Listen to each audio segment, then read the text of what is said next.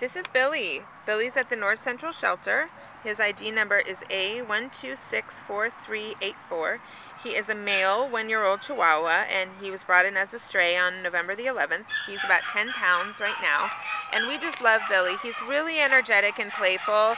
He's really friendly with other dogs. He was in the yard uh, hanging out with a big golden retriever earlier today and the interaction went really nicely. But so he's just a sweet little guy. Like he's definitely quiet. He's not a yipper. Um, you know, like I said, interacts nicely with other dogs. Um, definitely could benefit from some patient training, but he's just a sweet little lap dog. Would be a great indoor dog for any family, and um, he's got a great personality. So please come to North Central and get to know Billie. We're, we're sure that, you know, you'll fall in love with him just like we have. So uh, come meet Billie today.